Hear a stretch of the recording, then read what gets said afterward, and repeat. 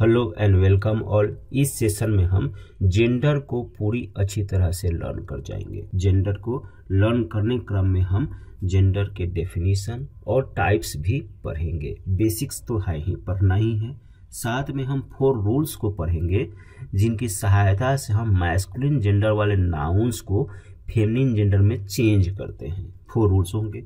और इन four rules में बहुत सारे एग्जाम्पल्स होंगे जो बहुत जगह से कलेक्ट किया गया है।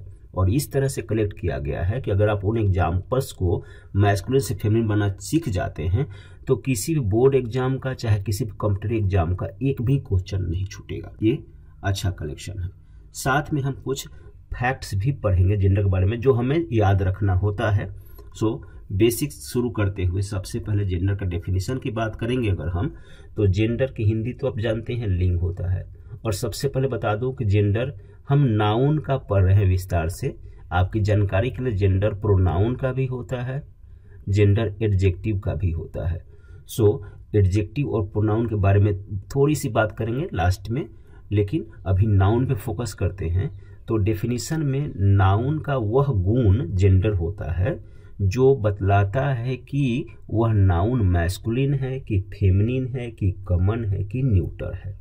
मतलब आप जानते भी हैं सिंपल सा कि इंग्लिश में जेंडर चार होते हैं masculine feminine common neuter gender so अगर नाउन का गुण बतला दे कि पार्टिकुलर नाउन मतलब क्या? नाउन में ह्यूमंस भी आएँगे ह्यूमंस और एनिमल्स भी आएँगे। तो अगर हमें पता चल जाए कि कोई ह्यूमन मैस्कुलिन है तो मैस्कुलिन जेंडर, ऐसे ही कोई एनिमल मैस्कुलिन तो मैस्कुलिन जेंडर। तो ऐसे ही कहा जा रहा है कि नाउन का वह गुण जो बता सके हमें कि वह नाउन मैस्कुलिन है, कि फेमिनिन है, कि कमन है, कि न्यूटर है, कहलाता है जेंडर। जेंडर क्या है? गुण है एक, गुण, राइट? तो ये तो हो गया। आप सब प्रकार भी जानते हैं, परिभाषा भी जानते हैं, अधिक बात नहीं करते हैं। आगे बढ़ते हुए हम जेंडर के टाइप जो फोर थे उनके बारे में थोड़ा थोड़ा थोड़ी थोड़ी बातें कर लेते हैं। आपको बताया कि जेंडर किसका किसका होगा अभी? हम ह्यूमंस और एनिमल्स की बात करेंगे। नाउन में किसका? ह्यूमंस एंड एनिमल्स की। सो so, जो मेल होता है उसे क्या बोलते हैं? मैस्कुलिन यही डेफिनेशन है इसका। जैसे कि किंग होस्ट लायन होस्ट का मतलब क्या होता है? मेजबान। मेजबान मतलब जिसके यहाँ मेहमान आते हैं, उसे कहते हैं मेजबान। तो किंग, होस्ट, लाइन, ये सब मैस्कुलिन जेंडर के एग्ज़ाम्पल हैं। फेमनिन में फेमनिन में क्या होगा कि फीमेल का पता चलेगा। फेमनिन बोलते हैं जैसे क्वीन का उल्टा, आप जानते हैं। किंग का उल्टा क्वीन होस्ट का होस्टेस लाइन का लाइनस ये सब क्या है? फेमनिन जेंडर हो गए। और फिर कॉमन जेंडर कॉमन का मतलब क्या होता है? कॉमन मतलब जैसे टीचर वर्ड होता है। तो टीचर वर्ड सुनकर आप समझते हैं कि मेल भी हो सकता है फीमेल भी हो सकता है। मतलब यह एक ऐसा वर्ड है जो मेल के लिए भी है फीमेल के लिए। दोनों के लिए कॉमन है। इसलिए इसको कहते हैं कॉमन जेंडर मतलब क्या? कि जिससे मेल और फीमेल दोनों का बोध होता है कॉमन जेंडर कहते हैं। बहुत सारे एग्जाम्पल्स यहाँ पे हैं। टीचर भी मिलेगा आपको। डॉक्टर भी मिलेगा। हम्म, ये सब ध्यान रखना है आपको। स्टूडेंट भी मिलेगा। मेल फिर चेयरपर्सन भी मेल फीमेल दोनों के लिए होता है। ये सब कुछ आपको ध्यान से देख लेना है। टीचर दो बार आ गया है। कज़न हम्म, भी मिलेगा। तो इस तरह से कॉमन जेंडर हो गया। Next one is neuter gender. Neuter मतलब आप जानते हैं न्यूटर मतलब नॉन लिविंग वाला जो निर्जीव है। तो इस जितना निर्जीव मिलेगा आपको जिसके पेन यह क्या क्या होगा? कॉमन सॉरी न्यूट्रल जेंडर होगा। स्कूल यह भी न्यूट्रल जेंडर होगा। न्यूट्रल जेंडर में कलेक्टिव नाउन वाले भी आते हैं। कलेक्टिव नाउन का मतलब क्या होता है? जैसे आप पढ़ते हैं अ बंच ऑफ़ कीज चाबी का गुच्छा। तो बंच जो वर्ड है कलेक्टिव नाउन है। तो जितना कलेक्टिव नाउन होगा, वह भी न्यूट्रल जेंडर में होता है। ठीक है? जैसे होता है एक an army army of ants चींटियों का दल। तो आर्मी जो वर्ड है यह कलेक्टिव नाउन है इसलिए यहाँ पे आर्मी रखा गया है कलेक्टिव नाउन में। सो so, और ये न्यूट्रा जेंडर हो गया। तो इस तरह से जेंडर चार हो गए और चारों के एग्ज़ाम्पल आपको मिल गए हैं। आप इसको ध्यान से देखिएगा। नेक्स्ट है रूल्स रूल्स जिसके तहत हम मैस्कुलिन जेंडर को फेमिनिन में चेंज करेंगे। फिर से सुन लीजिए। मैस्कुलिन को फेमिनिन में चेंज करेंगे। तो लेफ़्ट साइड में मैस्कुलिन जेंडर का एग्ज़ाम्पल आएगा और राइट में फेमिनिन होगा। और सबसे पहले पहला रूल है और यह सबसे अधिक यूज़ होता है यह रूल किसी भी मैस्कुलिन जेंडर के अंत में अगर ई डबल एस लगा देते हैं, बहुत से वर्ड्स के साथ इस रूल को अप्लाई कर सकते हैं। सबसे अधिक इसी का प्रयोग होता है, बता दिया। तो वह बन जाता है फेमिनिन जेंडर जैसे कि बहुत सारे एग्जाम्पल्स आपके पास। देखिए काउंट है, चाहे ऑर्ल है। एक्चुअली ये हमारे इंडिया का वर्ड नहीं है, कुलीन, जो यूरोप के होते हैं। तो इसका होता है, इसमें ई डबल एस लगा देंगे काउंटेस पढ़ देते हैं। इसको पढ़ते हैं काउंट इसको पढ़ते हैं ऑर्ल हिंदी सबकी कुलीन होती है। तो काउंटेस में क्या हो जाएगा? कुलीन स्त्री। यहाँ पे कुलीन रहेगा ही, और स्त्री जोड़ देंगे। सो काउंट का काउंटेस हो जाएगा। ये थोड़ा सा कम पूछता है, लेकिन आपको उच्चारण भी करने आना चाहिए, पता भी रहना चाहिए, इसलिए छोड़ा नहीं हमें, छोड़ना नहीं कुछ भी। देन जायंट जायंट जायंट मतलब क्या होता है? दैत जायंट का मतलब होता है दैत और यहाँ पे जायंट में ई डबल एस डाल दिया है। फिर एयर इसे एयर पढ़ते हैं। एयर मतलब उत्तराधिकारी, इसमें ई डबल एस डाल दिया है एयर एस इसका हो जाएगा दैतनी कह सकते हैं। दैत दैत्यनी चाहे स्त्री दैत, ठीक है? एयर मतलब उत्तराधिकारी तो एयर एस उत्तराधिकारनी हो जाएगा। लाइन जानते हैं लाइन में भी ई डबल एस डाल दिया। पृष्ठ पृष्ठ मतलब क्या होता है? पुजारी।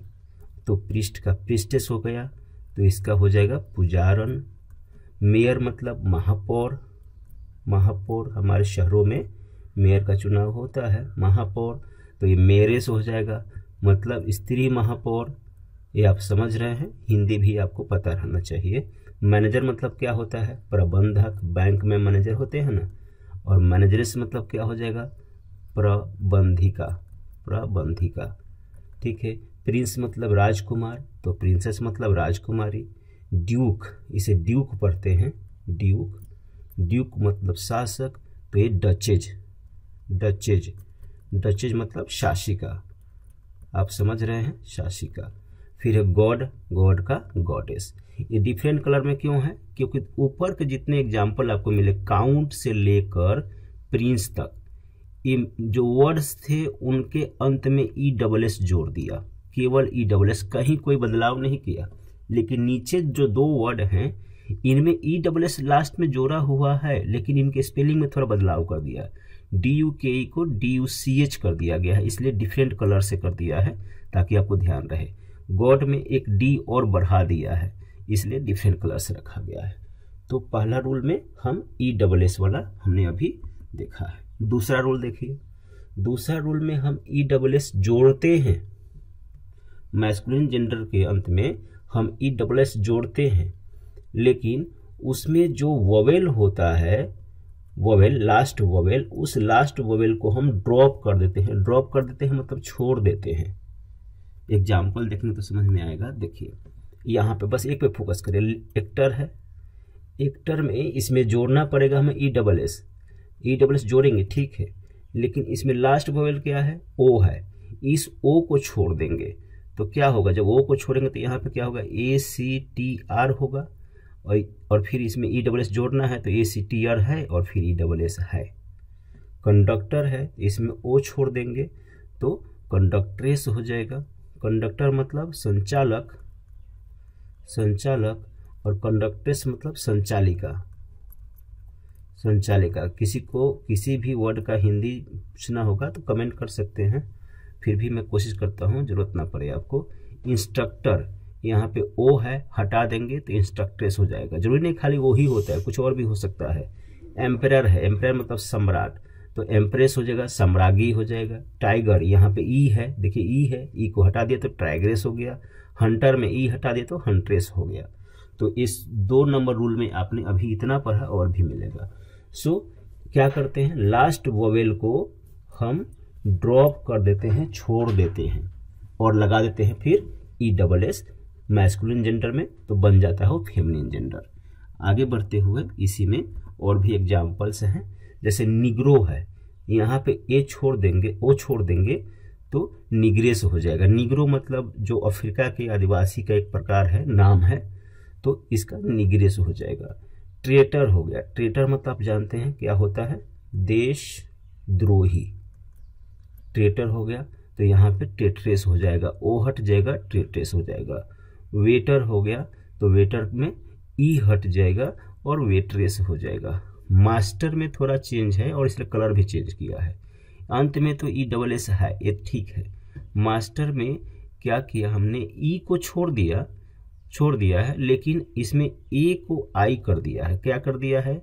M I S T R E छोड़ दिया, ऐसे हो गया। और फिर ई डबल एस डाल दिया है। तो थोड़ा बदलाव है, इसलिए कलर डिफरेंट कर दिया है। आपको ध्यान रखना है कि मास्टर का मिस्टेस होता है। इसमें अब तीन नंबर और मिलेगा देखिए, एक में क्या पढ़ा था कि खाली ई डबल एस जोड़ते हैं दूसरा में क्या पढ़ा था कि ई डबल एस जोड़ते हैं, लेकिन उसके पहले का जो ववेल होता है, उस ववेल को हम ड्रॉप कर देते हैं, छोड़ देते हैं हुँ? हम्म? खाली मास्टर का मिस्टेस में बदलाव मिला और कुछ मिला नहीं थर्ड है ई रेगुलर कोई रूल नहीं है थर्ड वाला, और बहुत बड़ी संख्या है इनकी, और एग्ज़ाम में इनमें से अधिक पूछा जाता है ई रेगुलर का मतलब अनियमित, जिसमें का कोई नियम ही नहीं है। हुँ? हम्म? दो का तो नियम था। देखते हैं एग्ज़ाम्पल देखिए बॉय का क्या होता है? गर्ल हॉर्स का हॉर्स का पूछा जाता है एग्ज़ाम में। बोर्ड एग्ज़ाम में अधिक पूछा जाता है। हॉर्स का मेयर मेयर मतलब घोड़ी। हॉर्स मतलब तो जानते हैं। गैंडर का गुज। गैंडर मतलब कलहंस। कल हंस गुज का मतलब क्या हो जाएगा? कलहंसिनी। हाँ? कलहंसिनी हो जाएगा इसका। नेफ्यू मतलब भतीजा तो नीस नीस मतलब भतीजी। ब्राइड ग्रूम मतलब दुल्हन सॉरी दुल्हा। पुलिंग है ना? ब्राइड ग्रूम मतलब दुल्हा। तो ब्राइड मतलब क्या होता है? दुल्हन। ये तो जानते ही हैं। हस्बैंड का वाइफ, सर का मैडम। तो यहाँ पे ये सब जानते हैं। आपको कहाँ ध्यान रखना है? हॉर्स का और गैंडर का गोज। यह सब जल्दी यूज़ हम करते नहीं हैं। बार बार सामने आते नहीं हैं और जो नहीं सामने आते हैं, उसी का पूछा जाता है एग्ज़ाम में। नेफ्यू का नीज तो आप बोलने में यूज़ करते हैं तो आपको दो इसमें से ध्यान रखना है, बाकी सब आपको पता होगा। हम जो पढ़ रहे हैं, इस रूल नंबर थ्री जो इरेगुलर है, उसका पहला स्लाइड देखा। आगे बढ़ेंगे तो आगे आपके सामने है, इसी का नेक्स्ट पोर्शन और यह भी इरेगुलर ही आप देख ही रहे हैं। बुल या ऑक्स का क्या होता है? काउ बुल या ऑक्स का काउ होता है, कॉक का हेन यह भी पता होता है आपको। जेंटिलमैन या लॉर्ड का लेडी होता है। जेंटिलमैन का लेडी तो जानते हैं, लॉर्ड का भी लेडी होता है तो दोनों एक ही साथ लिख दिया है। लैड का मतलब लड़का और लैस होता है लड़की। हीरो का आप जानते हैं, हीरोइन। विडोअर का विडो, सर का मैडम, पहले भी मिल गया। बैचलर का स्पिंस्टर, इसको आपको ध्यान रखना है। बैचलर का स्पिंस्टर, कुंवारा, कुंवारी। राइट? बैचलर मतलब कुंवारा स्पिंस्टर मीन्स कुंवारी। नाउ यहाँ पे आपको ध्यान क्या रखना है?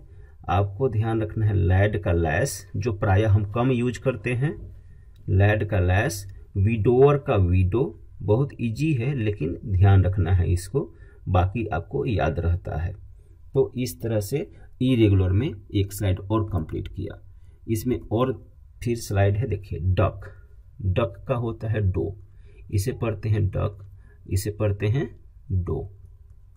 डक मतलब क्या होता है? बतख। बतख। और यहाँ पे क्या कहेंगे? आप कर देंगे मादा बतख। जब हिंदी ध्यान ना रहे तो आप ऐसा कर सकते हैं। स्टैग और हार्ट। दोनों का होता है हरिन हिरन कहिए। दोनों का होता है हिरन। और इसका है रो या हाइंड, इसे हाइंड पढ़ते हैं, हाइंड। रो, इसे रो पढ़ते हैं, रो या हाइंड तो इसका होता है हरिणी, चाहे हिरनी हिरनी कह देते हैं हिरनी हिरन का हिरनी ठीक है? ब्लॉक या काफ, ब्लॉक मतलब और काफ मतलब जानते हैं बछरा होता है बछरा तो बछरा का होता है हेफर, होता है, इसे पढ़ते हैं, हेफर, बहुत इंपॉर्टेंट है। कोल्ट मतलब होता है घोड़ा का बच्चा हम्म? और इसका होता है फीली। घोड़ा का बच्चा होता है, जो मेल होता है उसे कहते हैं कोल्ट। और जो फीमेल होने पे उसे बोलते हैं फीली फीली पढ़ते हैं। डॉग का बीच तो जानते हैं, विजार्ड का बीच विजार्ड मतलब होता है जादूगर जादूगर। और इसका होता है जादूगरनी जादूगरनी। चाइल्ड का चिल्ड्रन तो जानते ही हैं। तो यहाँ पे याद आपको बहुत रखना है। क्या क्या रखना है? एक तो बक और डो याद ही रखना पड़ेगा। ये बार बार नहीं मिलता है। एस्टैग हार्ट दोनों का एक साथ लिख दे रहा हूँ बिकॉज़ दोनों की हिंदी ऑलमोस्ट एक है। ऑलमोस्ट कह रहा हूँ कहीं कहीं बारासिंगा भी लिखा मिलता है। तो एस्टैग का रो, हार्ट का हाइंड एच से हार्ट एच से हाइंड एस्टैग का रो। ब्लॉक या काफ का हेफर, यह भी याद रखेंगे। इस स्लाइड में ऑलमोस्ट सभी याद रखना पड़ेगा आपको। कोल्ड का फिली भी पूछा गया है एग्ज़ाम में, ये भी याद रखना है। और विजार्ड का बीच आपको याद हो गया होगा चाइल्ड का चिल्ड्रन पता रहता है डॉग का बीच भी पता रहता है। तो ये ऊपर के पाँच आपको ध्यान रखने हैं। इसी में अभी आगे भी है। सुल्तान का सुल्ताना हम्म ये जानते हैं, सुल्तान सुल्ताना। जार जार का स्पेलिंग होता है सी से भी और टी से भी। तो जार क्या होता है? रूस के शासक जो थे, उनको कहते थे जार। तो जारीना जारीना टी से चाहे सी से कहीं से लिखिए। शासक हो जाएगा रूस का शासक, यहाँ पे हिंदी में कहेंगे तो रूस का शासक। रूस का ही होता है, इसलिए रूस लिखना पड़ेगा। यहाँ पे रूस की शासिका ठीक? फोक्स का विकसेन, भूलना नहीं इसको, फॉक्स का विकसेन, हिंदी तो पता है।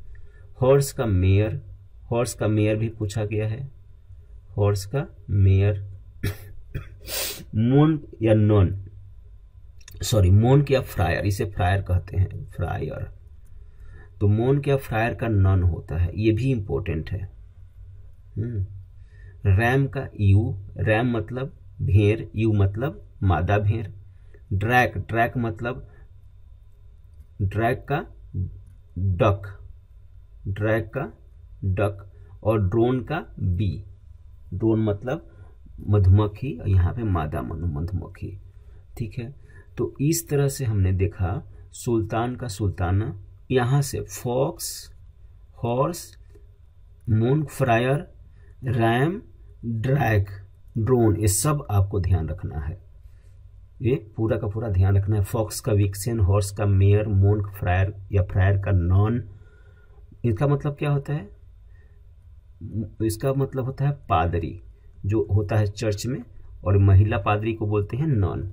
ठीक है, ram, ewe, drake, duck, drone, bee. Next one.